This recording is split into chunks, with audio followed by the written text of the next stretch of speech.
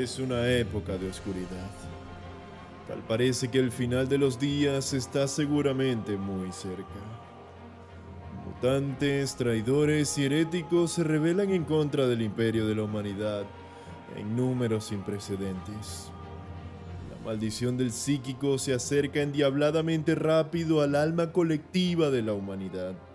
Las infernales energías de la disformidad hacen presión en contra del velo de la realidad. Y bueno, cada día nos acerca más a la inevitable perdición.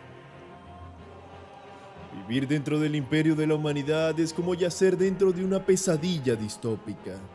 Las incontables masas de la humanidad solo son un poco más que carne para la gran máquina demoledora de la supervivencia.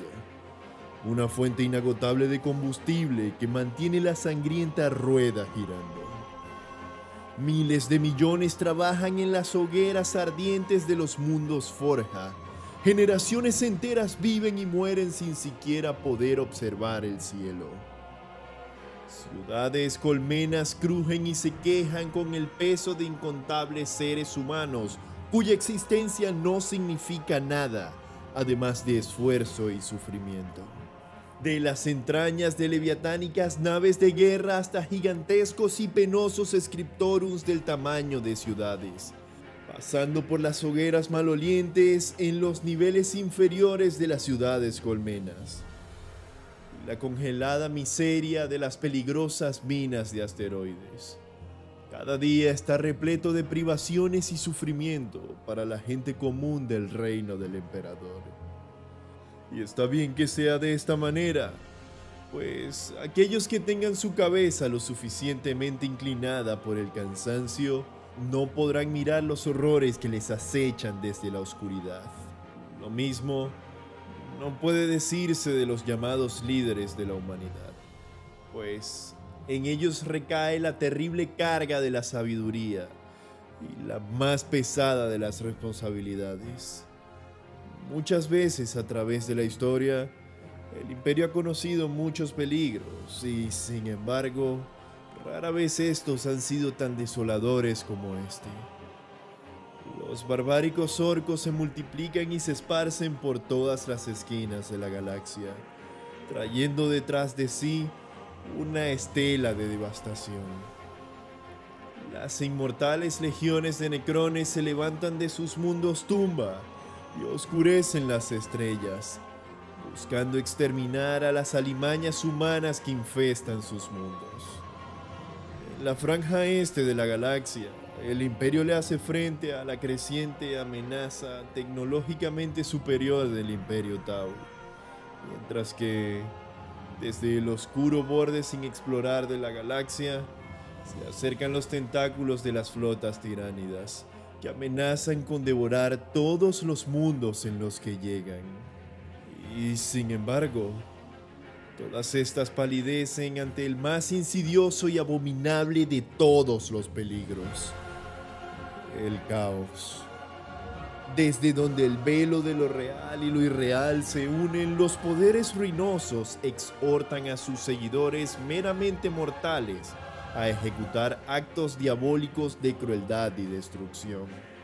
Los defensores del imperio del hombre se mantienen firmes en contra de todas estas amenazas de pesadilla. Los abarrotados ejércitos de la Guardia Imperial y el Adeptus Mechanicus luchan hombro a hombro con los marines espaciales, las hermanas de batalla y los caballeros grises. Y a pesar de todos sus esfuerzos, más mundos se pierden cada año. Incluso fortalezas supuestamente inexpugnables como Enceladus y Minisotira son tragadas por la anarquía. Presagios oscuros y pavorosos abundan por doquier. El oráculo de Ulandros ha hablado por primera vez en diez generaciones, profetizando muertes a escala nunca antes vistas. Los famosos santos de plata de Calistos derramaron lágrimas de sangre y esto no se detendrá. Videntes y místicos alrededor de todo el imperio Han tenido grandiosas visiones de grandiosos ángeles y terribles demonios luchando en el firmamento iluminado por fuegos fantasmales. El Segmentus Pacificus cae en un ominoso silencio.